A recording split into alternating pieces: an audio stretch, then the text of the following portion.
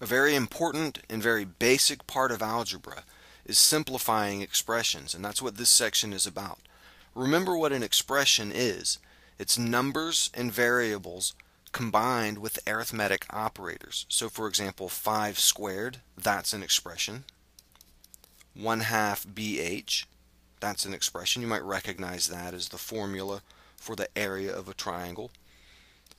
2L plus 2W is an expression, and you might recognize that as the formula for the perimeter of a rectangle, 2 times the length plus 2 times the width. But all of these are expressions, mathematical expressions. Now an expression is often made of terms that are added together. So take a look at these expressions and note how many terms are in each of these expressions. Well, here's one thing added to another thing. The 2x is one term and the 3y is one term. So there are two terms in this expression. In this one, I have three things, the ax squared, the bx, and the c. So that expression has three terms. And so does the next one, the a, the b, and the negative 3xyz right there. There are three terms in that expression. And this last one, you should be able to see it has four terms. 2a is a, is a term, 3b is a term, negative 4c is a term, and 5d is a term. So there are four terms in that expression. Now it's important to remember that the terms are the things that are added together.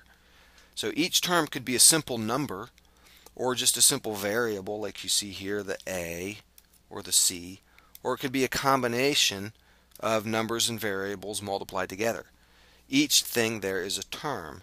Now take a look at these examples.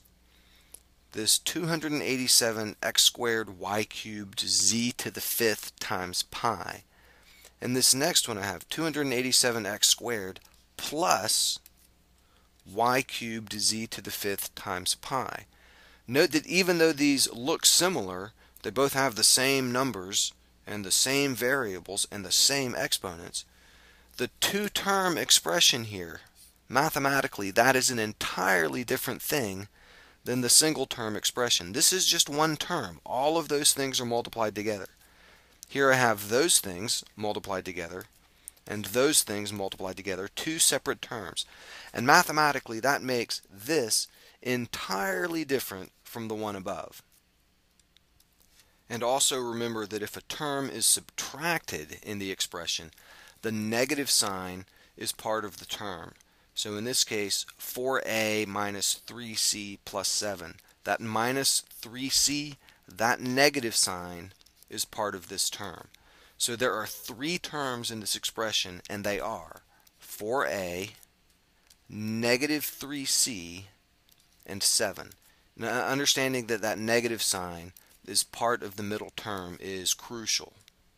Sometimes it's helpful to think of all of the terms as being added. So instead of thinking of this as 4a minus 3c plus 7, you might think of it as 4a plus negative 3c plus 7. So we have three terms and they're added together. If you write it that way, or at least think of it that way, then the sign of each term, positive or negative, becomes clear.